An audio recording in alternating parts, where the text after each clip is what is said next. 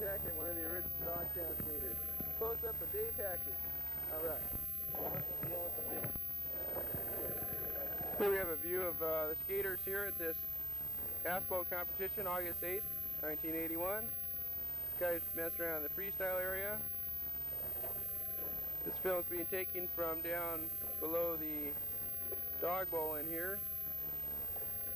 In the lower keyhole,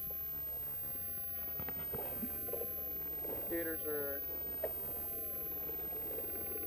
currently doing the slalom event, as well as the upper keyhole competition behind the uh, clear salad bowl up here. Alex Wendell, manager, Marina Skate Park.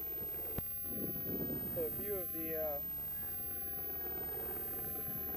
parking lot, in front of the park here. For these contests, we really fill up this parking lot. Building. It's in our famous fence. Pictures drawn by Ivan Asoya, Shogo Kubo. Hey! He's in this limousine that just pulled up in the parking lot. Looks like Tony Alva himself showed up.